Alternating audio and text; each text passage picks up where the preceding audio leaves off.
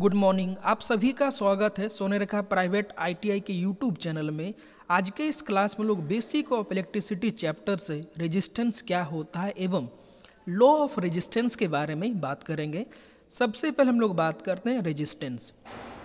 पदार्थ का वो स्वाभाविक गुण जिसके कारण वो स्वयं में से होने वाले विद्युत धारा प्रभाव का विरोध करते हैं, प्रतिरोध कहलाता है। अर्थात अगर किसी पदार्थ में रेजिस्टेंस कम है तो ये कम करंट को ब्लॉक करेगा। इसके अलावा अगर किसी पदार्थ का रेजिस्टेंस बहुत ज़्यादा है तो ये ज़्यादा मात्रा में इलेक्ट्रिक करंट को ब्लॉक करेगा। एक बेस्ट कंडक्टर में रेजिस्टेंस का मान कम होना चाहिए, ताकि ये आसानी से इलेक्ट्रिक करंट को एक दिशा से दूसरे दिशा की तरफ़ फ्लो कर सके। बेसिकली ये जो रेजिस्टेंस है इसे हम लोग कैपिटल आर द्वारा दर्शाते हैं एवं इसका मात्रक ओम होता है। इस रेजिस्टेंस को मापने के लिए एक स्पेशल मीटर का प्रयोग करते हैं, जिसे हम लोग ओम मीटर कहते हैं।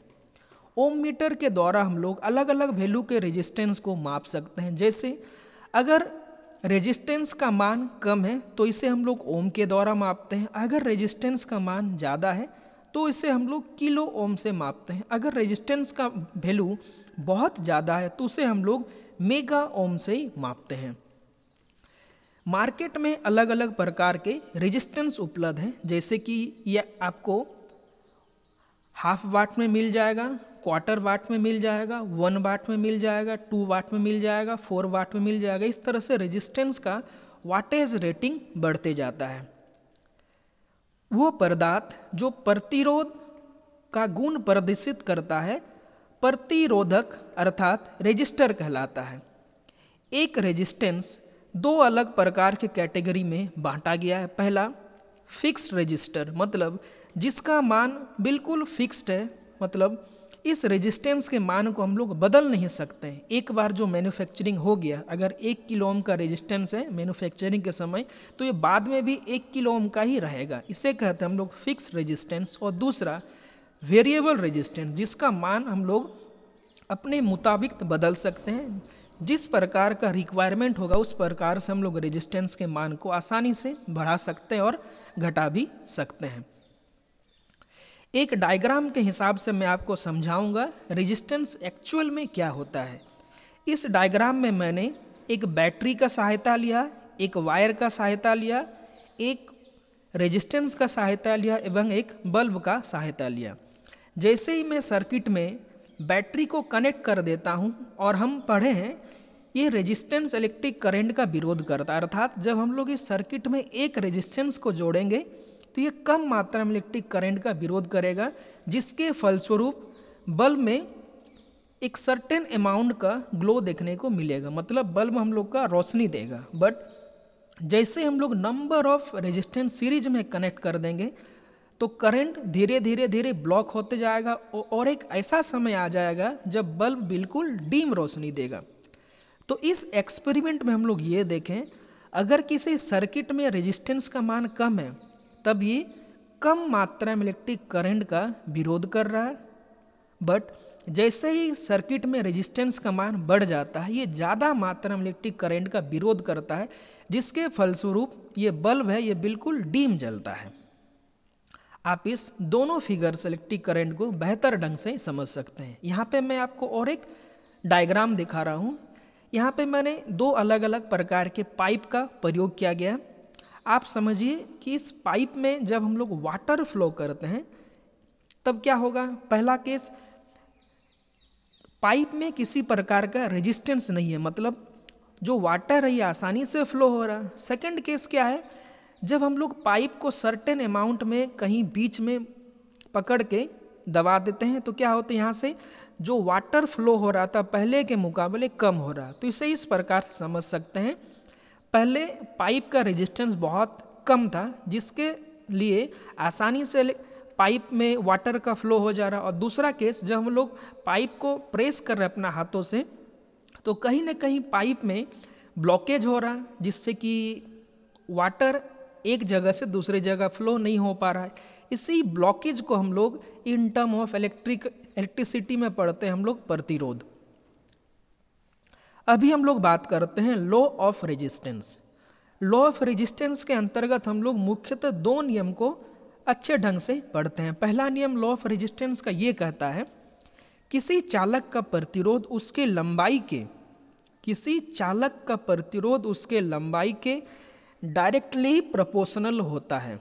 यहाँ पे डायरेक्टली प्रोपोर्शनल का मतलब है, अगर चालक का लंबाई बढ़ेगा तो रेजिस्टेंस भी बढ़ेगा अगर चालक का लंबाई घटेगा तो रेजिस्टेंस भी घटेगा। डायरेक्टली प्रोपोर्शनल का मतलब ही होता है, एक वैल्यू के मान के बढ़ने से दूसरे वैल्यू के मान भी बढ़ जाएगा, पहले वैल्यू के मान घटने से दूसरे वैल्यू का मान भी घट जाएगा। अभी मैं आपको एक ग्राफ के हिसाब से समझाता हूँ कि लॉ ऑफ़ रेजिस्टेंस का पहला नियम क्या कहता है। इस ग्राफ में मैंने एक्स एक्सिस में चालक की लंबाई को दर्शाया एवं वाई एक्सिस में प्रतिरोध को दर्शाया। ये जो ग्राफ है, ये ग्राफ बिल्कुल ज़ीरो से स्टार्टिंग होके बिल्कुल स्ट्रेट लाइन को फ्लो करेगा कुछ इस प्रकार से। जब चालक की लंबाई बढ़ेगा तो प्रतिरोध भी बढ़ेगा। यही था लॉ ऑफ़ रेजिस्टेंस का पहला नियम। दूसरा नियम लॉ ऑफ़ रेजिस्टेंस का ये कहता है, अगर किसी चालक का प्रतिरोध, अगर किसी चालक का प्रतिरोध उसके एरिया ऑफ़ क्रॉस सेक्शन पर निर्भर करता है अगर किसी चालक का प्रतिरोध उसके एरिया ऑफ़ क्रॉस सेक्शन पर निर्भर करता है, तब रेजिस्टेंस और एरिया ऑफ़ क्रॉस सेक्शन एक दूसरे के इन्वर्सली प्रोपोर्शनल होता है। मतलब अगर एरिया ऑफ़ क्रॉस सेक्शन का मान बढ़ेगा, तब रेजिस्टेंस का मान घटेगा।